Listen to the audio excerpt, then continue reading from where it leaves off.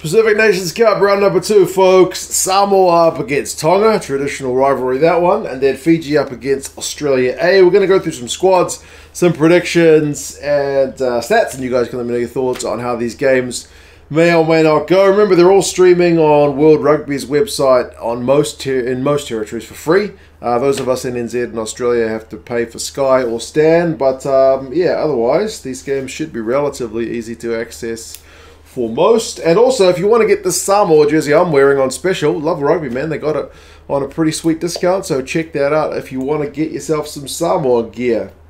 Speaking of Samoa, they're bolstered by the return or addition of a few big names. Jordan Taufua at 8 doesn't get much bigger than that. Um, that guy was so close to being an All Black a couple of times. Uh, got injured right when he was about to perhaps get selected, but we are going to get to see him play Test match rugby for Samoa, so that's really pleasing for him. Uh, Jack Lamb and Theo McFarland are alongside him in the back row, so kind of same same from last week. Uh, second row, Slade and Vui's the same. Ala Alatoa and Yuya at three and two, uh, the same as last week. Ala Alatoa is still captain, and then you got Tuala who jumps up from the bench to start at loose here. To the forward pack is largely pretty much the same, but with the addition of Taufua, uh, that's that's got to be good news, man, because the guy is an absolute unit. Uh, the backs, Tom Matene gets a start at 9, so he's up from the bench. And then I'm really pleased with the addition of AJ Alatimu. Nothing against Rodney Iona, but um, in the MLR, Alatimu was absolutely on fire. I think he's the top point scorer, made the final, was kicking goals, was setting up tries, getting tries of his own. He was just on fire. So um, really pleasing to see him get back into the Samoan jersey. And then Tumua Manu at 12, back from France. Uh, former Chiefs man, so a good guy to see back in Samoan colours as well. Formaya is still there, but then also Ed Fidow, speaking of the MLR, top try scorer, man. Like he genuinely looked a level above when he was playing in America. He was in absolute cracking form too.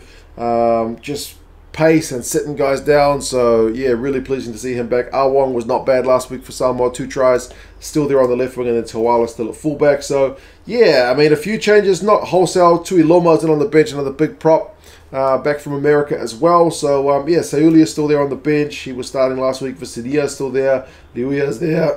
Fritz Lee. So, I mean, kind of a bit of rotation without being kind of wholesale changes for Samoa. For Tonga, a little bit more surprising because no Fekitoa, no Piutau, no Folau. I mean, I know Folau picked up an injury. I'm not sure how serious it was, but I would have assumed Fekitoa and Piutau to be playing, but nope. Uh, they're kind of going with maybe some of the more of the Moana Pacifica guys because um, yeah, it's it's a big change lineup from Tonga. Obviously, Tonga lost last week 36 0 and they could have scored some tries, certainly, but um, none of the chances just went down. So, uh, yeah, maybe this is a reaction to that. I mean, Samoa in their game, they are 1 0. They beat the Aussies in the last kind of couple of minutes with an intercept. Um, 31-26. So yeah, I guess the two teams are in slightly different positions. Uh, Fisihoi, Maile, and Tameifuna are the front row. So Maile gets a start after being on the bench last week, and Big Ben Tameifuna, it doesn't get much bigger than that guy. So he's back from France. So he gets a start at tight head. Poliniati is still there in the second row alongside Lousi, who's back from Wales. So Sam Lousi, you would have seen him in Super Rugby. Uh, really kind of agile, you know, rangy lock, so he's a good addition. Uh, Halofanua, Havili, and Tupulotu are the same back row, so only Havili gets a start this week after being on the bench last week, but otherwise the back line is not, um, the back row is not too much changed. Takulua is still there at 9, he's kind of Mr. Consistent like I mentioned, but then James Faiva gets a start at 10. Remember, he was on the bench last week, and then uh, William Havili, who started at 10 last week, shifts back to his more familiar 15. So Faiva is a 10, so I guess that makes sense with Havili's more been playing 15 all year. So, yeah, maybe that, that makes a bit of sense. Fitu Paya is there at 12, so that's a bit of good news as well. He's in addition to the 23. Taumopia was at 13. Uh, Tuitavuki is at the left wing, and uh, Fainga Anuku, who was on the bench last week, came on for Folau. He gets a start, obviously, in the absence of Folau. So, yeah, I mean, Moli drops to the bench. Interesting, Fial Tuaika is on the bench too. He was initially named in the Aussie A side so that's an interesting addition for him to be named for uh, for Tonga. Tokolahi is down to the bench. Um, but yeah, otherwise it's kind of steady as she goes. It's a 6-2 split for the Tongans.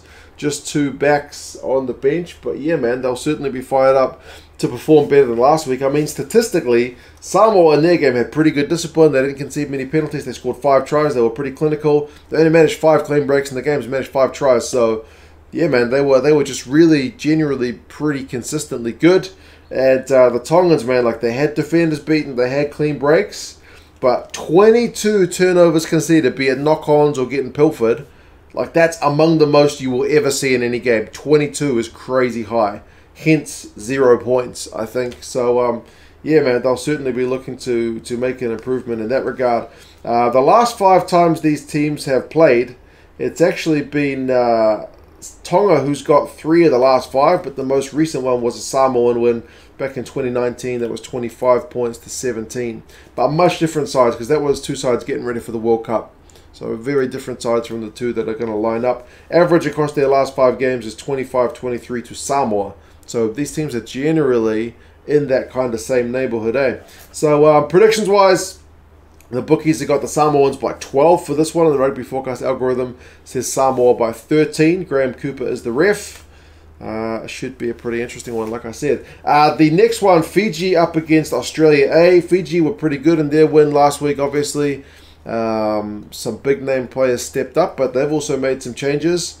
And uh, for the Aussies, they've also rotated the squad a, a wee bit. They'll be looking to be a bit more clinical because maybe that's where they were lacking a little bit last week. It's the same front row though for um, for Fiji, I'm telling a lie because Matavesi is actually getting a start. He was on the bench last week. But Hetet, Matavesi, and Saulo, so all guys were in the 23 last week. Matavesi getting a start. Um, Nasila Sila and Rotuni Yarawa are the locks. So Yarawa was on the bench last week. He gets a start. That's a bit of good news because uh, he's a bit of a unit as well. Uh, same back row with Tuisui being at 8, Nasove at 7, and Kunavula at 6. Um, and the same 9-10 combo with Lomani and Tela. I'm pleased to see Tela retains his 10 jersey despite the fact that Ben Volavola is on the bench, because Ben Volavola, Volavola, when he tends to play, he tends to be in at 10.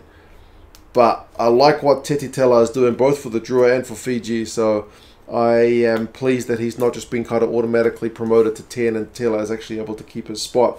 Um, Botia is in at 12, now that guy's been playing really well in France, big ball carrier, so that's a bit of good news. And then Tamani Valu gets promoted from the bench to start at 13. So there's no Nayacalevu this week.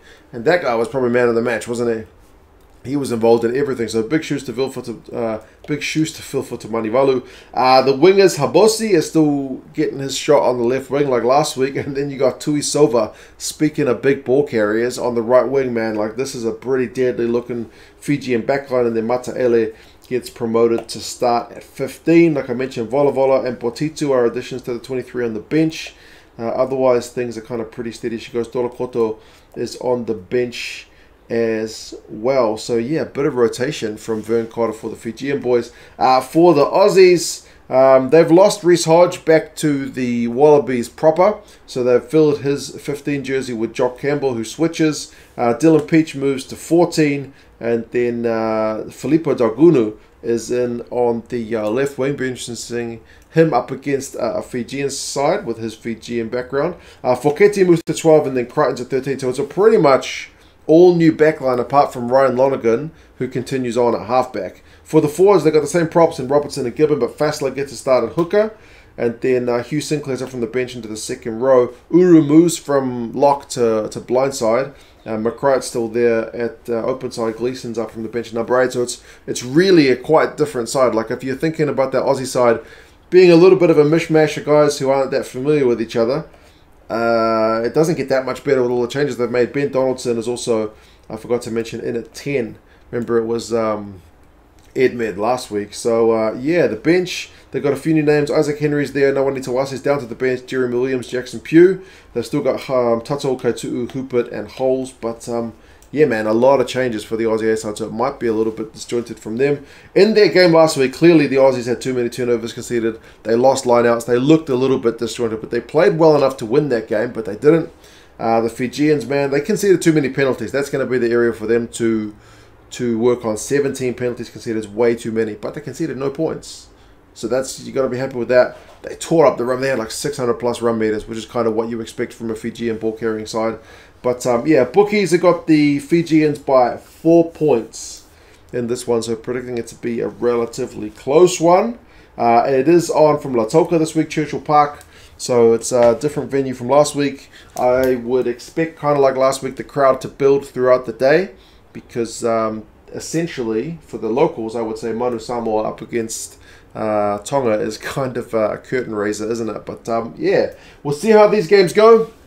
You guys let me know your thoughts on uh, how you think the teams are going to go. Do you see Samoa and Fiji getting the wins as predicted, or can you see an upset? You guys let me know your thoughts, and I'll talk to you guys again soon. See you later.